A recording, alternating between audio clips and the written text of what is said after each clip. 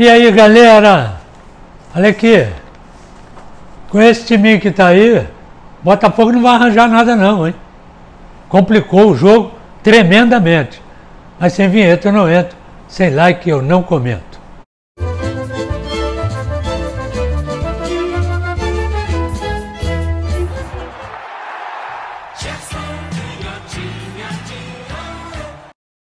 Aqui, galera, se inscreva no canal, deixe seu, comentário, aperta a carrapeta, para eu não ficar na saudade aqui, tá certo? E um outro detalhe importante, presta atenção, tem um recado para você.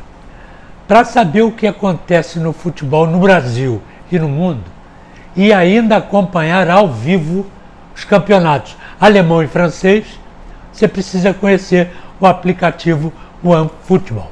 Ele tem tudo isso e muito mais. Que é o melhor? É de graça, cara.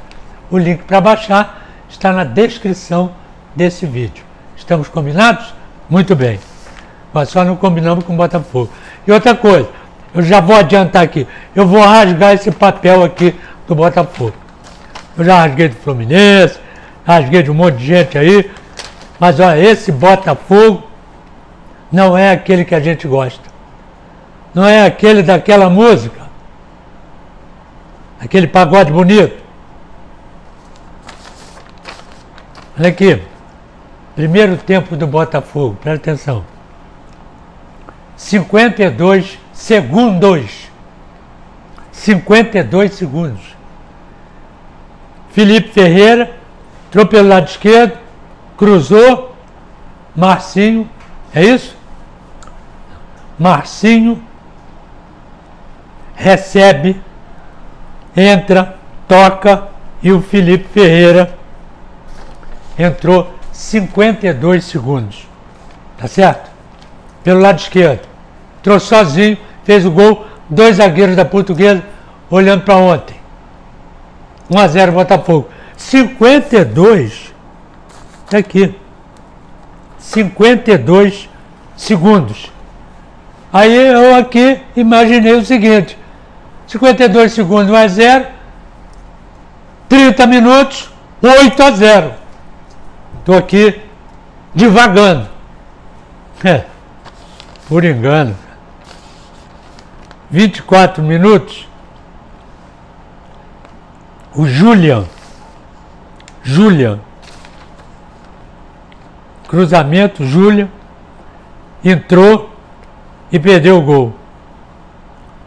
40 minutos, Muniz segurou e foi expulso. Só teve isso no primeiro tempo, cara. É muito pouco pro Botafogo. Parece mentira, mas tá aqui, ó. Não teve mais nada. Primeiro tempo é só isso. E ainda foi expulso de graça o jogador Muniz, da portuguesa. 40 minutos. Então ficou mais fácil ainda, teoricamente, mais fácil ainda para o time do Botafogo. 1 a 0, 52 segundos, tá certo?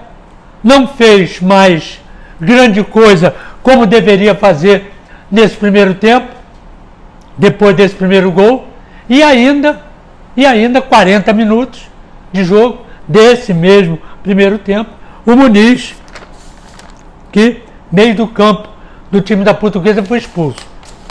Dos 40 minutos até o final, mais uns 7, 10 minutos aí, com os acréscimos, o Botafogo não fez nada. Ficou olhando. E a portuguesa, né, segura aqui, pouco satisfeita, um pouco não satisfeita, mas tentando controlar o jogo. E o Botafogo, ao invés de partir para dentro, não, ficou nesse toquezinho, mete a bola para lado direito, lado direito cruza. Aí o, o centroavante, o Babi, com o Navarro, levando trombada lá na frente e a bola não chega como tem que chegar no toque de bola, com o Ricardinho, com o Friso e o Marcinho, e a bola não chega. E os dois laterais, Paulo Vitor e Jonathan. Cruzar a bola. Isso não é jogo, cara. Português, os dois zagueiros, o Pedro e o Diego saíram primeiro tempo reclamando Aí foram perguntar a ele, tá reclamando de quê, cara? Tá perdendo o jogo? Reclamando de quê? Ele falou, torcicolo. Tô cabeceando a bola toda hora. Isso não é jogo, cara. Isso não é jogo. O time do Botafogo, quer dizer, você bota aí tecnicamente, não vou dizer que é melhor do que o time da portuguesa, mas tecnicamente é um bom time. Como a portuguesa tecnicamente é um bom time. Bem arrumadinho, bem ajeitado. Mas quem faz o gol com 52 segundos não pode perder o jogo, não pode empatar o jogo e tem que fazer mais gols. Que automaticamente o time adversário, que no caso é português, vai ficar desorientado. Como ficou. Mas o Botafogo não se aproveitou disso. Termina o primeiro tempo. Sete minutos, Marcinho tocou para trás. O Kaique, que já tinha entrado no intervalo, que eu também não entendi. Saiu o Babi, entrou o Kaique. No intervalo. Eu não entendi muito bem. O Babi estava bem no jogo. É um artilheiro. E o Kaique entrou no meio, no meio do campo. E lá na frente ficaram Navarro e Felipe Ferreira. Que de, da, 20 minutos depois saiu. Então, ele tocou para trás, entrou, tocou para trás, Kaique veio de, do meio do campo, empurrou a bola, a bola bateu no travessão. Só. O Kaique não fez mais absolutamente nada. Ele entrou no meio do campo, ele é bom jogador, entrou para armar o jogo. E ele não fez absolutamente nada. Cinco bolas que ele pegou, cinco, cinco. Ele se enrolou ou tocou, meteu a bola na frente pro Navarro e meteu mal. Errou cinco passes. Quem erra cinco passes no meio do campo, tá certo? Tem que pedir para ir para o shopping. Não é ficar no jogo. E ele entrou exatamente para isso. Então, sete minutos, aconteceu isso. Aí, interessante isso. Veio a paralisação. 20 minutos. O treinador, não satisfeito do Botafogo, veja aí, tirou Felipe Ferreira, botou o Ronald. Tirou o Ricardinho, botou Marco Antônio.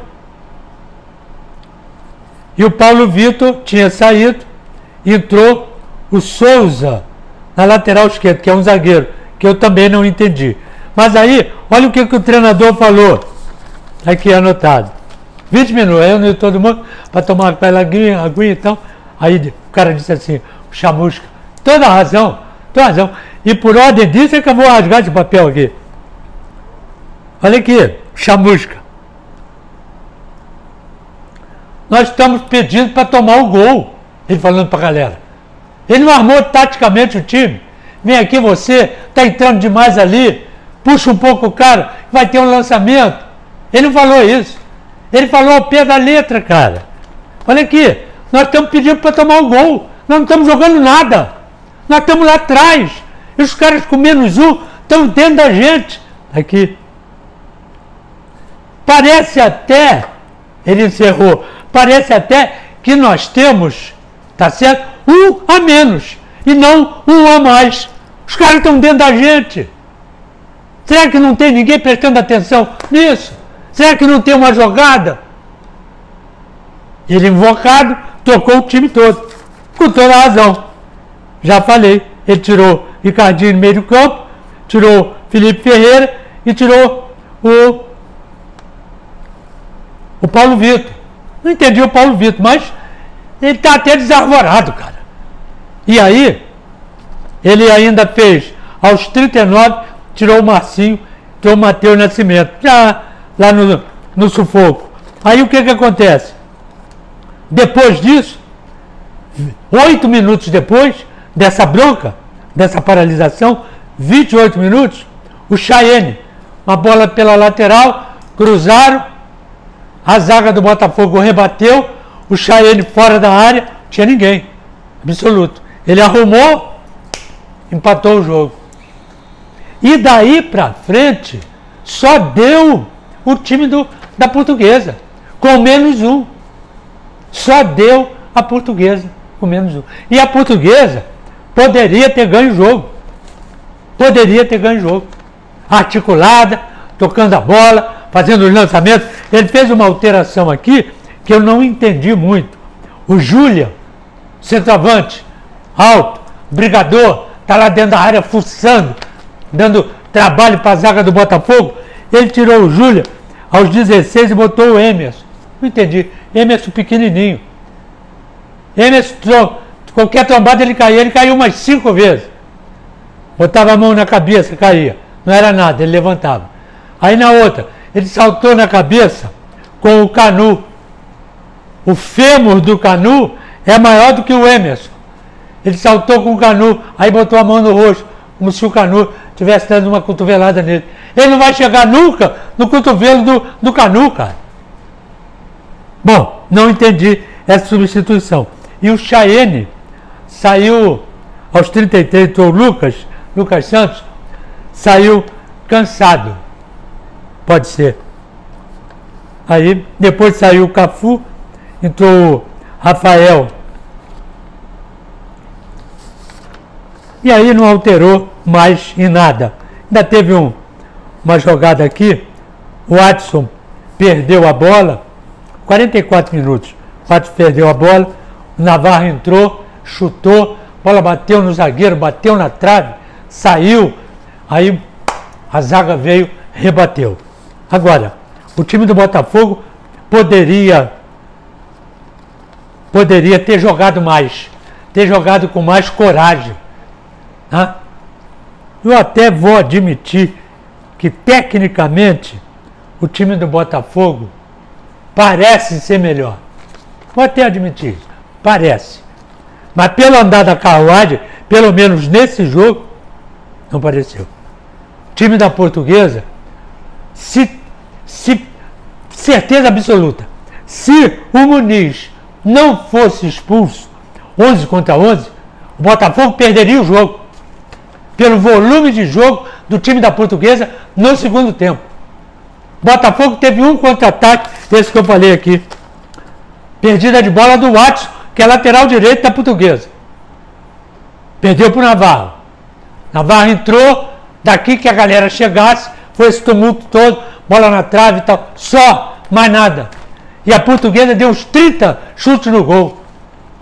O goleiro, da, goleiro do, do Botafogo, Douglas, fez três grandes defesas.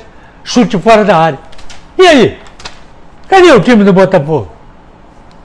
Aqui. Craque do jogo, eu vou botar o Chayenne, que fez um golaço, 28 minutos. E a baranga de jogo, eu posso escolher 300 aqui. Até o treinador do Botafogo eu posso escolher. Kaique. Mas o Kaique encheu as medidas. O Kaique, eu poderia botar o Muniz, que foi expulso aos 40 do primeiro tempo. Sem necessidade. Ele perdeu a bola na intermediária, correu atrás do cara, se abraçou no cara. E o cara foi arrastando ele, o Navarro. Segurou, largou, corre atrás, deixa para outro, mas não, poderia botá-lo. Agora, o Kaique entrou exatamente para fazer o que ninguém estava fazendo no meio do campo. E acabou não fazendo. Estou separando aqui. Portuguesa e o Botafogo. Com esse time, com essa maneira de jogar, com essa falta de atenção, com esses milhões de passes errados, não é o meu Botafogo. Não é o meu Botafogo. Quero desejar uma feliz Páscoa né, para todos os nossos companheiros, nossos inscritos todos, tá certo? E os pêsames né, à família do Agnaldo Timóteo. Gente da melhor qualidade, companheiro, amigo, parceiro e botafoguense doente. Valeu.